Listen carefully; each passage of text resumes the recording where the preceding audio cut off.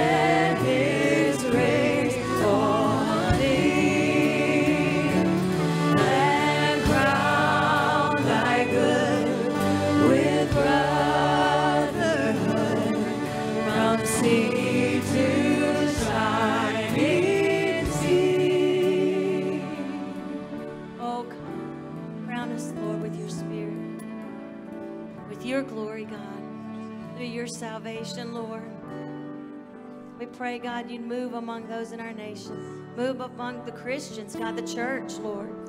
That you would open blinded eyes, God.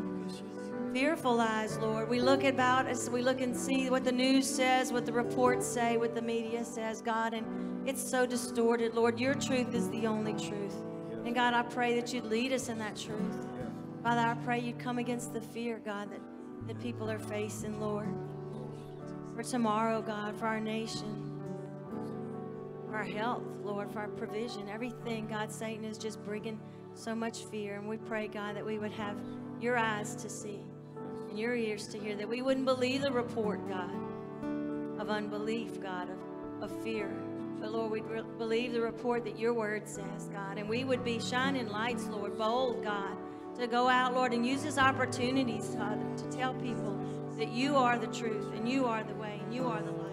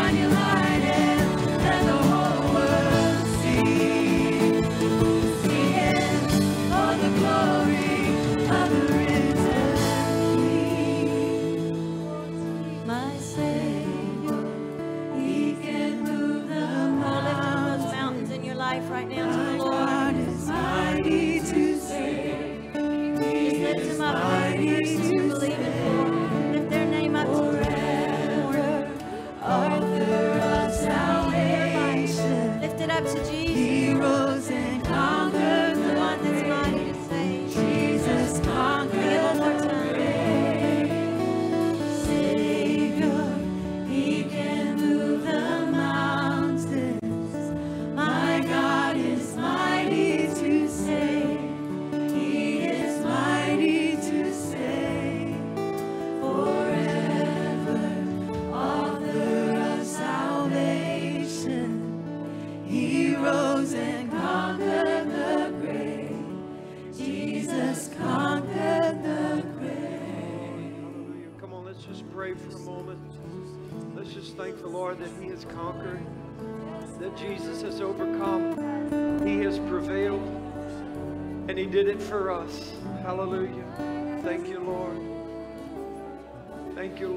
Father, we thank you. We worship you today. We thank you for Jesus.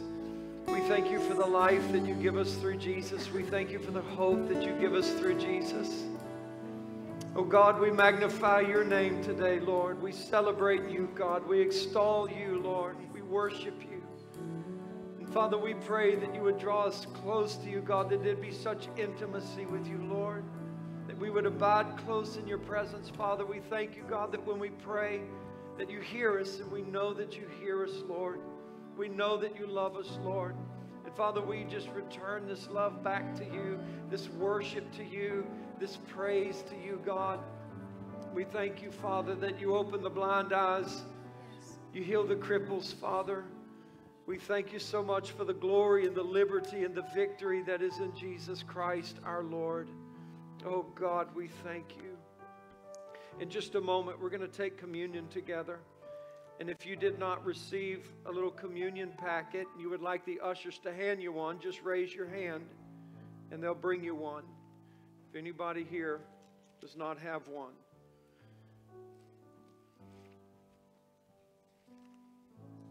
Amen. That song, Oh the Blood. Can we just sing that chorus? Oh the blood of Jesus. You know, as you are receiving these packets, you can go ahead and open them.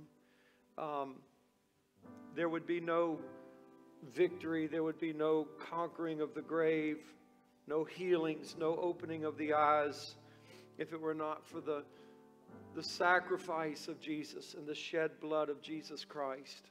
Amen. And so we thank the Lord for what He has done for us and the offering up of Himself in the cross. Just take this moment and commune with the Lord. He said that as often as we do it, we are to remember Him. And just to remember what He's done, I just want to sing this little chorus, Oh, the blood of Jesus. But I wanted to read this to you. For when Jesus began His ministry, in his hometown, he opened up the scrolls in the synagogue and he read from the Gospel of Isaiah, or the book of Isaiah. And he said, The Spirit of the Lord is upon me because he has anointed me to preach the gospel to the poor. He has sent me to heal the brokenhearted and preach deliverance to the captives and recovering of sight to the blind, to set at liberty them that are bruised to preach the acceptable year of the Lord. And he closed the book and he gave it again to the minister and he sat down, and the eyes of all of them that were in the synagogue fastened on him, and he began to say to them, Praise God, this day is this scripture fulfilled in your ears. Hallelujah. The scripture was fulfilled in their ears, and from that point on, it would be fulfilled before their eyes. I want you to think about that. Faith comes by hearing, it starts in our ears. And then from that hearing will come the tangible evidence of what you've heard. And they began to see not only what they heard, didn't just hear it, but they began to see it. They saw the blind healed. They saw the lame walk. They saw the poor received. They saw the gospel preached to all people. They saw the captive set free. They saw it, but first they heard it. And Father, we thank you today that we also can see what our ears hear. And we thank you, Lord, that it was all fulfilled in your Son, Jesus Christ. We love you, Lord. And just as you would, take that communion right now. Carla's just going to sing this chorus, Oh, the blood of Jesus. You can just sing it if, if you would and just pray and commune with the Lord for a moment. If there's anything in your life that you need to confess or repent of before God, that communion represents the fact that God is not against you. He has not come to condemn you but to save you and to help you. And even now, He is here to help you and to save you. It is the means of reconciliation within the body of Christ. It is the means of communion and companionship within His body. Everything is there. Don't just recognize the death of the human body of Jesus, but recognize His church as well. Discern that body of Jesus Christ and let us take of it worthily by the blood of Jesus today. Thank you, Lord. Oh, the blood of Jesus. It washes white as snow. And oh, the blood of Jesus. Oh,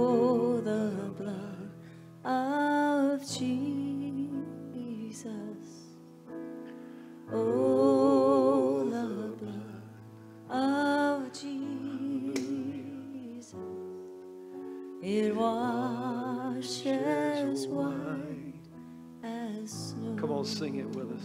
Oh, the blood of Jesus. Everybody. Oh, the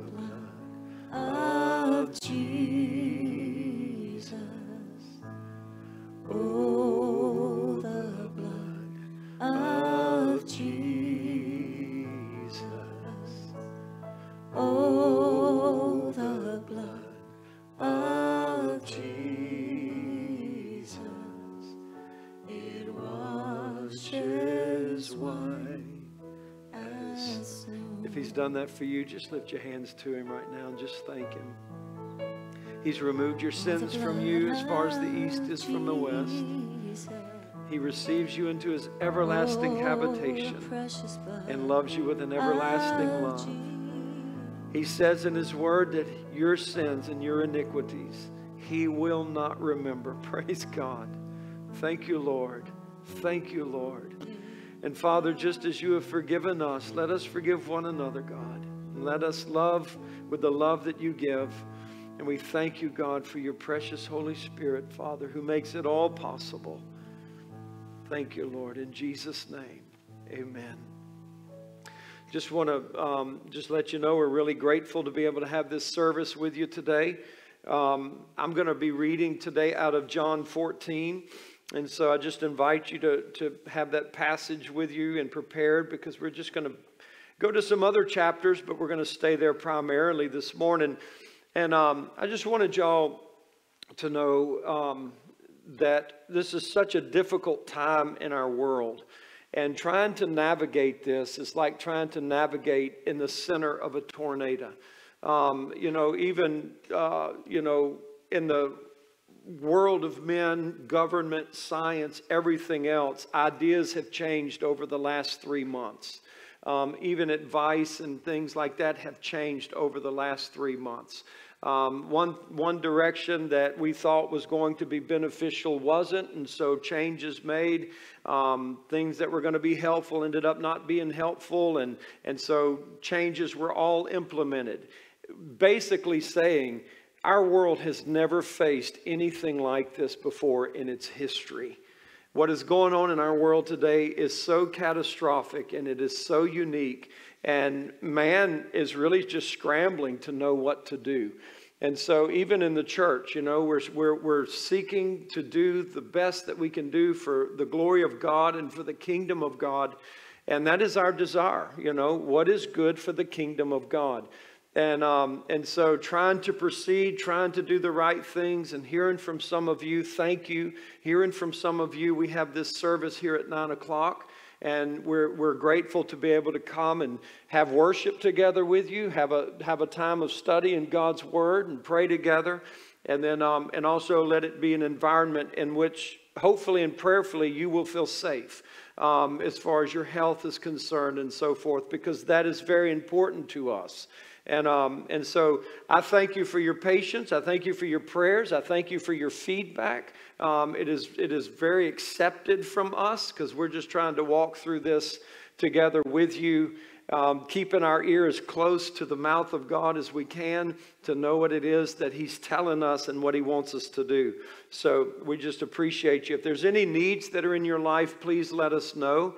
Anything that we can do to help you or serve you or minister to you in whatever way it is, even to go pick up groceries for you and bring them to your house, whatever it may be, you know, uh, lawn work, whatever you might need going on in, in your life. So please let us know because we understand these are very disturbing times. And again, I just want to thank you and I want to appreciate you being here um, this morning. We've, we've been talking a lot about the Holy Spirit. And one of the things that Luke writes in Acts chapter 1 is about all that Jesus began both to do and to teach. And so it is so important for us to understand, and I want us to understand this to do, as well, that it is important. What Jesus said, we know is truth. We know it is doctrinal. We know it is life saving. For example, when in John 6, Jesus said, If you don't eat my flesh and drink my blood, you have no part with me. And the multitudes just really left him at that moment. And he's really standing there with his 12 disciples and he asked them, Are you going to leave me as well? And, and they said to him, Where would we go? You have the words of eternal life. And so Jesus' words are eternal. They are eternal life. That word gets in you. And that word fastens itself upon your heart and your life. And it really changes you. It really dictates everything about your life from that point. And so I, I want to express how important Jesus' words are. But I also want to stress to you how important his works are. The miracles of Jesus, the works of Jesus. I read this to you just a minute ago in Luke chapter 4 that Jesus read this from the, God, from, from the book of Isaiah. He goes and he sits down and he says, Today this is fulfilled in your hearing. And I just think that is so marvelous because they heard it first and then they would see it done and we hear the word of God, and then we're going to see the demonstration of God. He told the disciples in Mark chapter 16, this is the great commission of Matthew 25 to, to or Matthew 18 for them here in Mark 16, go into all the world. Well, they did. And these signs followed them because God worked with them. And so I just want us to understand this is a supernatural life that we are living as believers. It is supernatural, and anything less than that is really just not biblical Christianity. We ought to be able to say in our life today, if you're not listening to what I'm saying, look what is happening and let the things that are happening validate what we are saying. That is the desire of the Holy Spirit. Um, the church doesn't have that power in itself. You and I don't have that power in ourselves, but the Holy Spirit wants to do something in our life where He can say to the world, Listen to what I'm telling you and look at what I'm doing so you will know that's why you should listen to what I'm saying. And so Jesus did that. You're going to see that in John 14 today about Jesus making a comment of that to one of his disciples. But Y'all, this is a very unique time in human history. It is a unique time in our world. And so the world is really turned upside down and inside out. We have heard from uh, missionaries and pastors and churches in other parts of the world where people are starving. I mean, there is no food, there, is no produce, there, there is no avenues. And I thank God that we're able to help these people. I thank God that we have been able to send, send finances into all parts of the world to help buy people's food. We have bought pastors and their families food. If you're not giving to this, I really encourage you to do it because I don't think there's anything more worthwhile that we could be doing right now than to help the saints of God. Galatians 6 tells us that. And so, just to have love for one another, we've paid mortgages, we've paid pastors' mortgages, we've paid the mortgages of churches. Even one of our churches here in Baton Rouge in the inner city, twice we've paid the church's mortgage so that it could continue to function out on Plank Road. And a um, beautiful pastor, great friend of ours. Um, and so I thank God for all of that. We're, we're, the church is moving, the church is going, the church is doing the work of God, the church is advancing the kingdom. The church is loving the body of Christ. And these are the avenues that you also have access to to contribute to these things that we're doing right now that I believe is right before us to do. And so I just encourage you to, to know that. Um, in, in the condition that our world is in, the situation that it is in, it is very disturbed and people are very troubled. And so I want to read this in John 14. The Bible says, Let not your heart be troubled. You believe in God, believe also in me. And I want to talk today about the answer to a troubled heart, the answer to a troubled life. I'll be honest with you.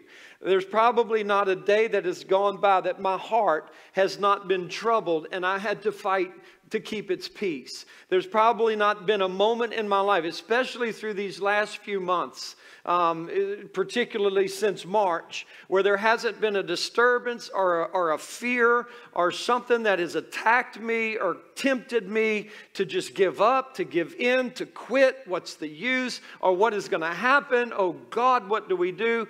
And, and I thank God I have come to this passage so many times for my strength. And I really believe the Lord taught me something out of this on the answer for a troubled heart. So I want to share it with you, and I pray that it will be strength in your life. Not words in your head, but the word in your spirit, and it'll be strength for your life. So he says again, verse 1 Let not your heart be troubled. You believe in God, believe also in me. Then Jesus is going to talk about the Holy Spirit. And at the end of this conversation about the Holy Spirit, he comes back to this, let not your heart be troubled, in verse 27, and he adds something to it. So I want you to see this. He says, Peace I leave with you, my peace I give unto you, not as the world gives, give I unto you. And here it is again. Let not your heart be troubled, neither let it be afraid. Now, when you read verse 1 and verse 27, there is a responsibility on our part. And the responsibility is self evident right there. Let not your heart. You have to guard your heart. You have to guard what is coming into your heart. You have to fight what is trying to disturb your heart. You have to fight what is an infiltration of the enemy against your peace that you have in God. All right? I can't fight that for you. You can't fight that for me. But God gives us provisions by which we fight the trouble and the fear that would seek to attack our hearts. And the simplicity of that is always Jesus. He is our peace and He is present with us by His Holy Spirit. And so that's the simplicity of the answer, but there are many factors in it so that Jesus actually is personal and real in your heart, living in your heart, alive in your heart, so that you have peace and you have confidence and not trouble. So I want to look at verse 1 and verse 27, and I want to look at these two things the word troubled and the word afraid. And I want to define these things to you.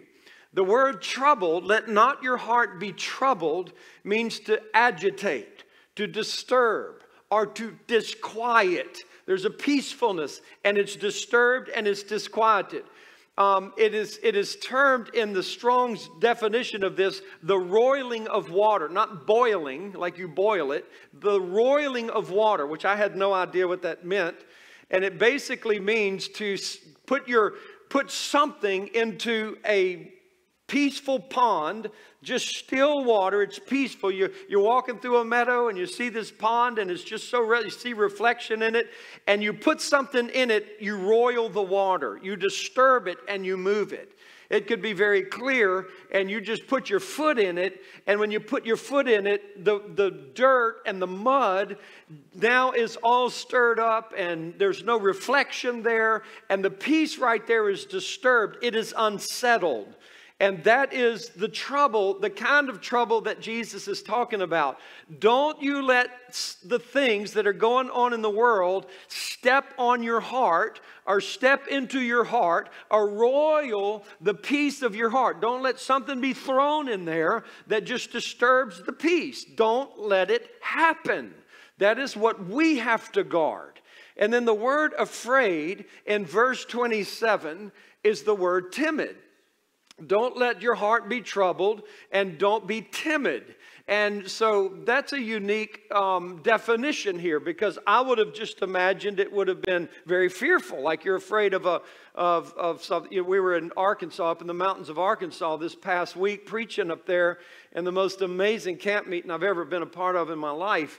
And um, and so it's just, I mean, been going on for 40 years. We're in the top of these hills and there's about six or seven hundred people there, and they have bears coming down to the cafeteria to get the food out of the dumpsters. You know, I'm afraid. you know, I've always been a little bit, you know, afraid of bears, or maybe a lot, bears and snakes. And so I was, I'd have to get people to go to the men's room with me because I, I, wanted them to have the bear attack rather than me. You know, I was afraid, you know, so this was the kind of fear that I would be thinking Jesus was talking about. You know, there's a fear going on in the world, but that's not really the word, it's timid.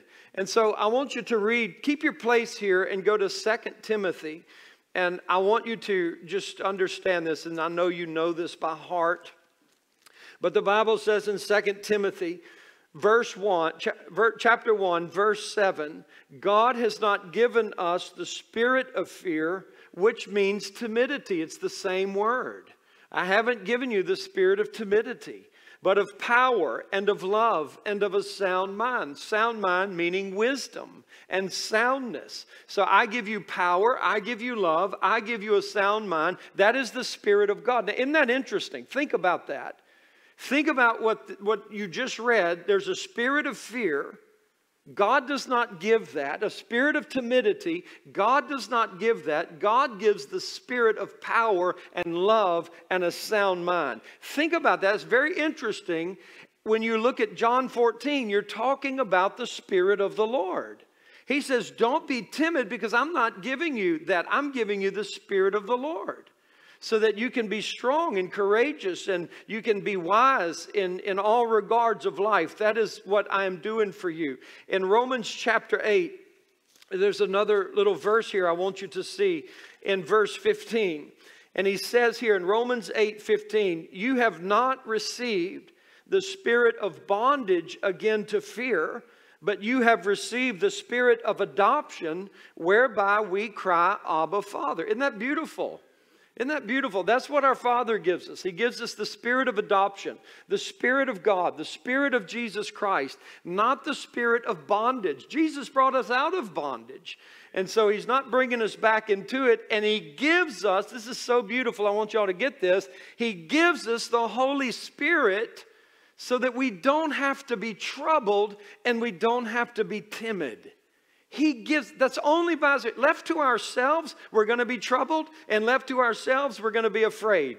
But with the Holy Spirit, there is power, the clothing of power, and the clothing of life. That's what He gives to us. And so, going back to John 14, I want to give you about five things that the Lord showed me to be aware of, to by grace pray for and believe and expect in my life on a daily basis, and sometimes many times through the day.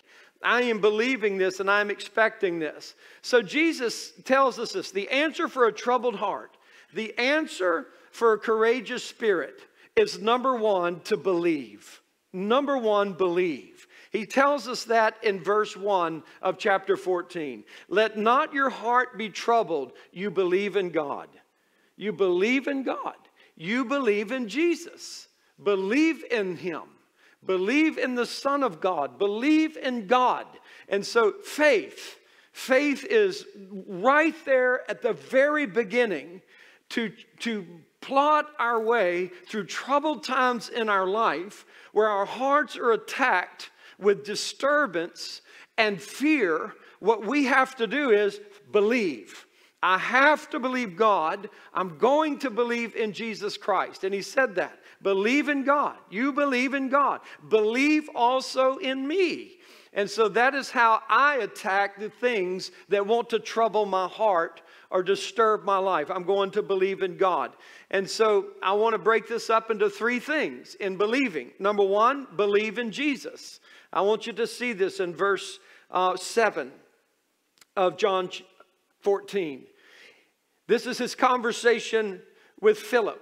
And he says this to the disciples If you had known me, you should have known my Father also. And from henceforth you know him and have seen him. Philip said to him, Lord, show us the Father, and it suffices us. Jesus said to him, Have I been so long time with you, and yet hast thou not known me, Philip? He that has seen me has seen the Father. And how sayest thou then, Show us the Father? Believest thou not that I am in the Father and the Father in me? Now, here's what I was telling you earlier. The words that I speak unto you, I speak not of myself, but the Father that dwells in me, he does the works. Believe me. There it is again, so many times. Believe me that I am in the Father and the Father in me, or else believe me for the very work's sake. Verily, verily, I say unto you, he that believeth on me, the works that I do shall he do also, and greater works than these shall he do, because I go unto my Father. Now, I'm, I'm going to talk about this for just a moment about believing in Jesus and believing who he is and believing that he was sent from the Father. And why was he sent from the Father? To redeem you, to save you, to be your God, to be your Lord, to be your ever constant friend, to never leave your side, to never abandon you, to never fail you, to never disturb your faith in your life. Jesus is the author and the finisher of our life.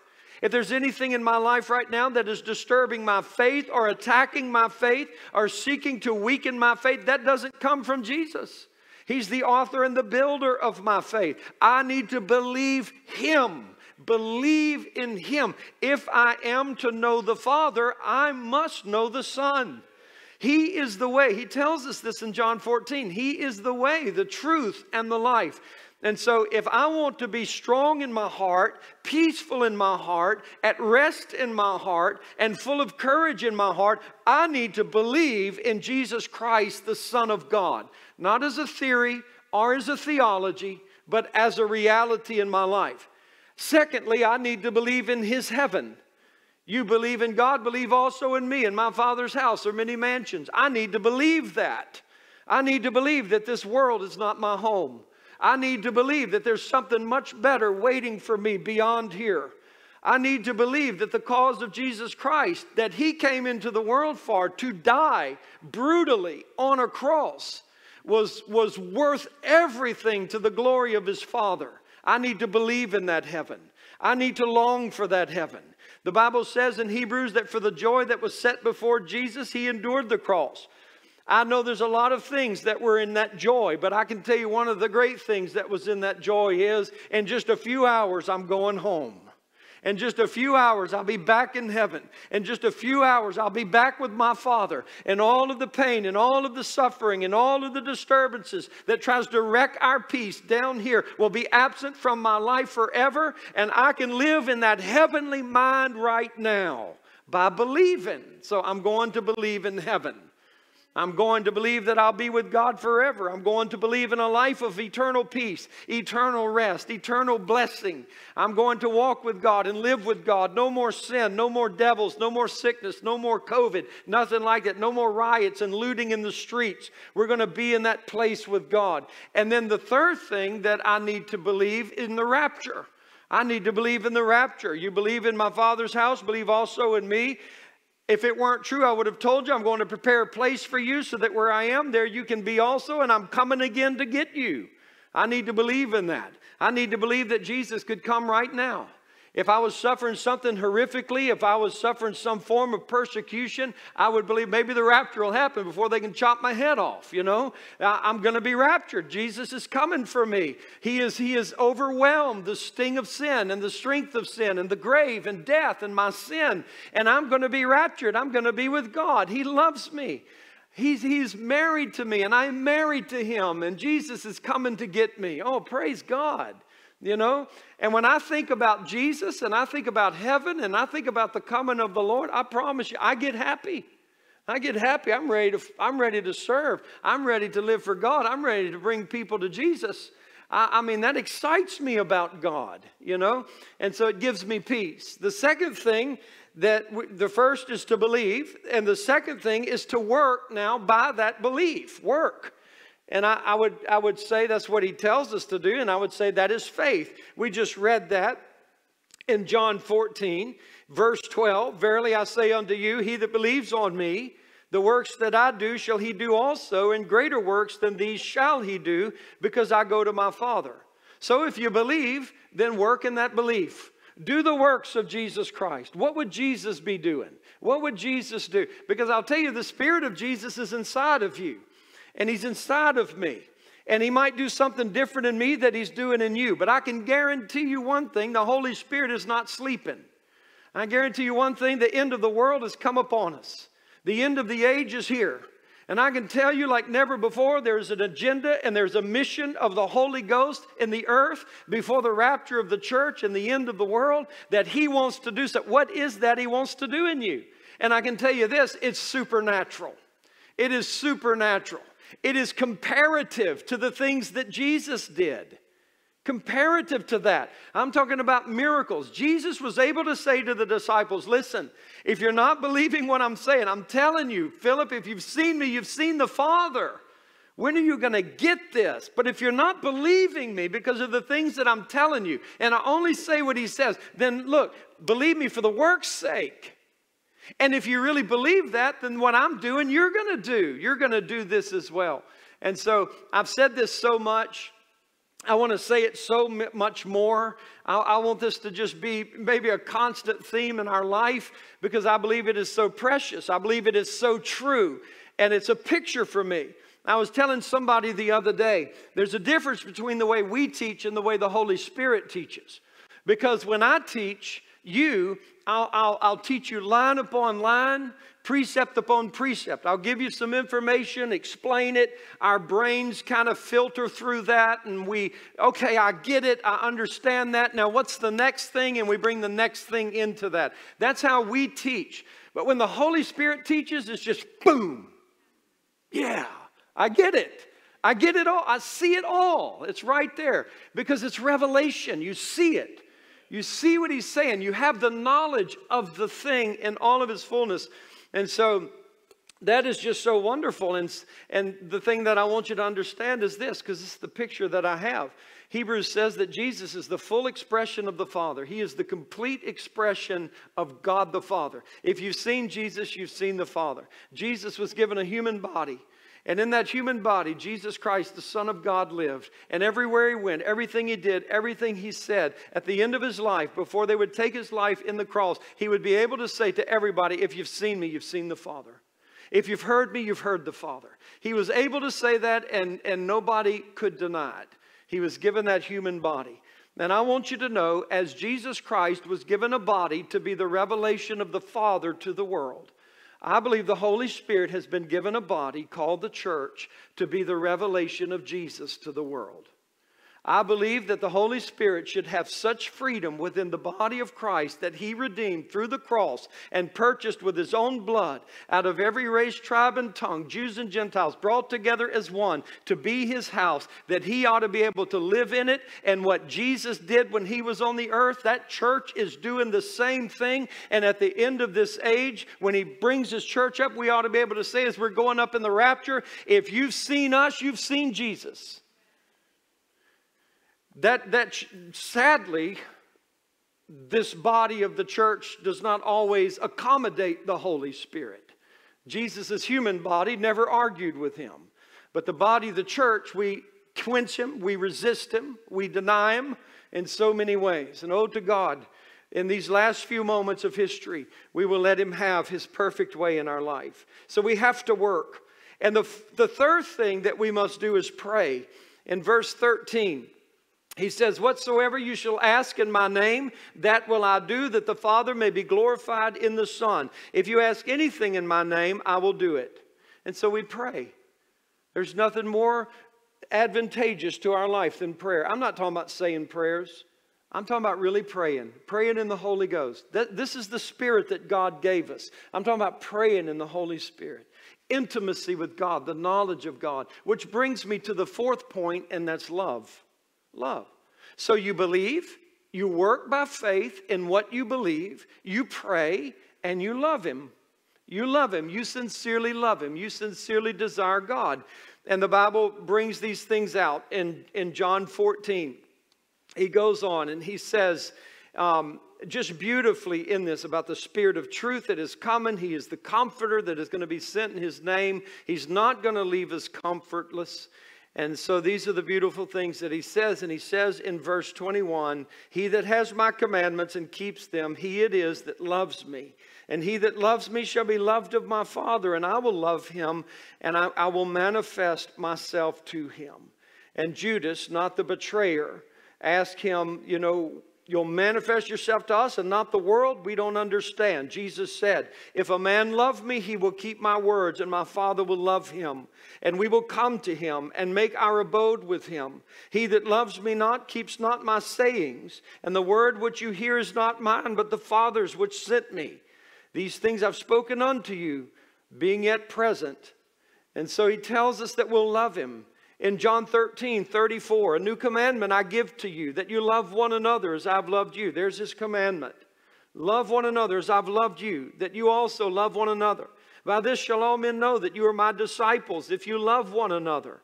And then he tells us in John 15, verse 12, he says, This is my commandment, that you love one another as I have loved you. In verse 17, These things I command you, that you love one another. And so the commandment of Jesus is to love. And if you love me, you'll keep my commandments. If you love me, you'll love one another. It's just as simple as that. And the only way we can love as He is loved is by the Spirit of love that He sends to us, the Holy Spirit of God.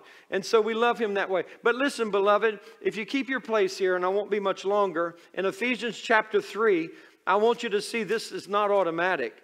The knowledge of God and the knowledge of Jesus Christ in your heart is not automatic because you're born again. There is something that has to happen in your life by the work of the Spirit of God in your life. And so I, I, want to assure you of this. And this is the prayer of Paul to the Ephesians in chapter 3. And he says that, verse 16, that he would grant you, according to the riches of his glory, to be strengthened with might by his Spirit in the inner man, that Christ may dwell in your hearts by faith that you, being rooted and grounded in love, may be able to comprehend with all saints the breadth, length, depth, and height, and to know the love of Christ that your brain cannot know. I'm just paraphrasing that. It passes knowledge. Your brain can't know it. This is revealed to your inner man by the Spirit of God to believers. Not, I'm not talking about unbelievers. I'm not talking about going up to some lost person. I want to share the gospel with you. Do you want to pray for Jesus to come into your heart? This is Paul praying for the church that they might experience Jesus in their heart because it's not automatic.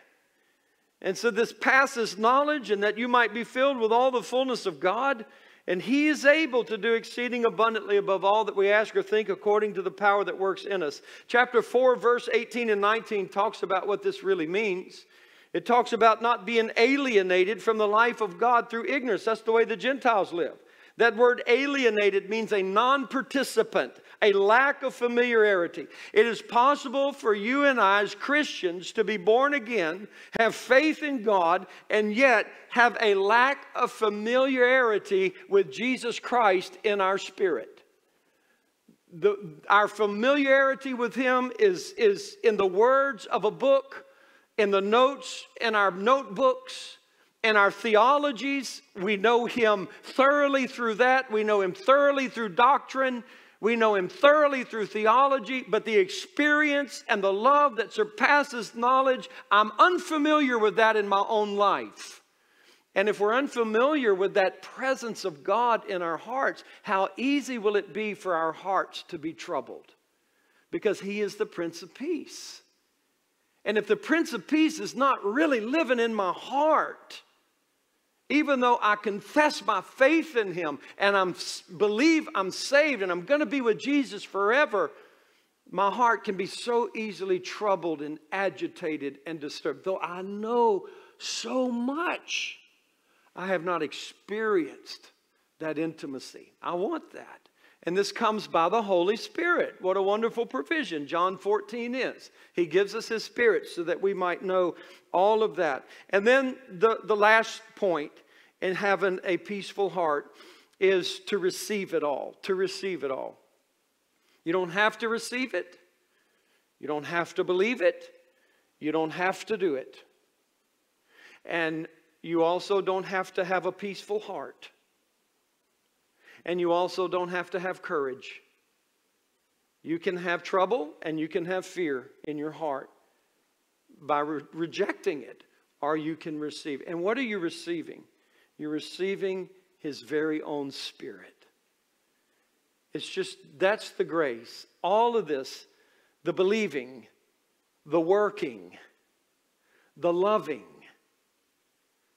the praying, is all by the provision of his very own self into my life. And I just receive him. And when I receive him, I have his peace and I have his stability. And I just read these last few to you in verse 16. I will pray the Father, and he will give you another comforter, that he may abide with you forever, even the Spirit of truth, whom the world cannot receive, because it sees him not, neither knows him but you know him, for he dwells with you and shall be in you. And I talk about receiving because it says the world won't receive him, but you have received him. So walk in him and live in him and let him be your strength and your portion in life. The baptism of the Spirit is a complete immersion of your entire being, your soul, spirit, and body into the Holy Spirit. It is not a partial filling or symbolic or temporary.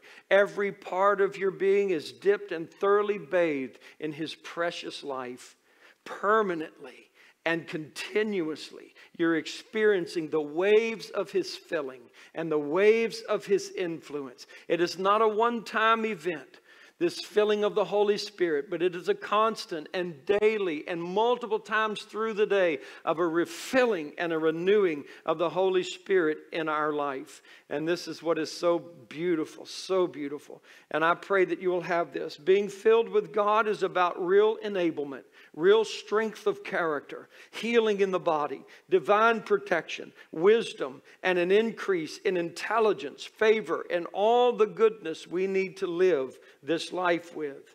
He is the dynamic means by which we can say, if you've seen us, you've seen Jesus.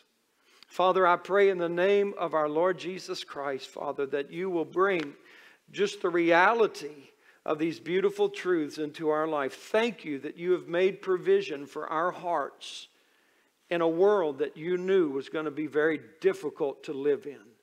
You knew the problems and the tribulations that would be here. And you left us your very own spirit, not for us to get by, but for us to walk in absolute victory and to enjoy the victory you've gained. And Father, please, in these last moments of history, I pray that you will be able to say through your church, if you've seen the church, you've seen Jesus. God, may we be so one. We ask it all in his precious name for his honor and for his glory. In Jesus' name, amen. God bless you. Please let us know if there's anything that you need, anything we can do for you. But we love you very much. God bless you. Thank you for coming today. I pray this has been a blessing for you. I pray that it's been an environment you feel safe in. And, um, and still, there's plenty of room for other people to come and uh, be in here and still have safe distance between one another, which is what we're going to strive to preserve for you in these nine o'clock meetings. So I, I hope to see you again next Sunday. Um, God bless you. Thank you. Thank you.